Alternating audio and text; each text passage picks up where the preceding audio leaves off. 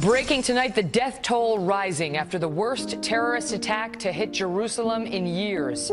Five people are now dead, including three Americans. All around me are familiar faces, worn out places, worn out faces, bright. Speaker, I rise today to recognize Howard Rothman. Last week, when terrorists stormed Jerusalem's Kehillat B'nai Torah synagogue, Toronto native Howard Rothman was deep in prayer.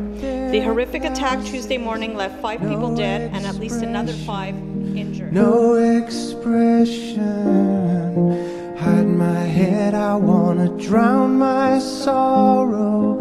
No tomorrow, no tomorrow. Find it kinda funny, I find it kinda sad. The dreams in which I'm dying are the best I've ever had. I find it hard to tell you, I find it hard to take. When people run in circles, it's a very, very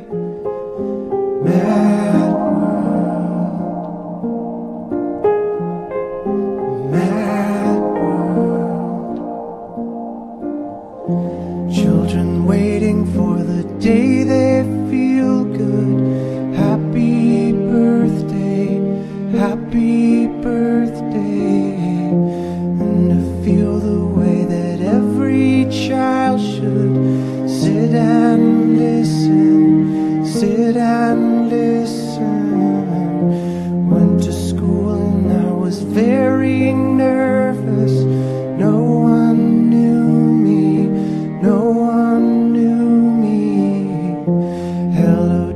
teacher, tell me what's my lesson. Look right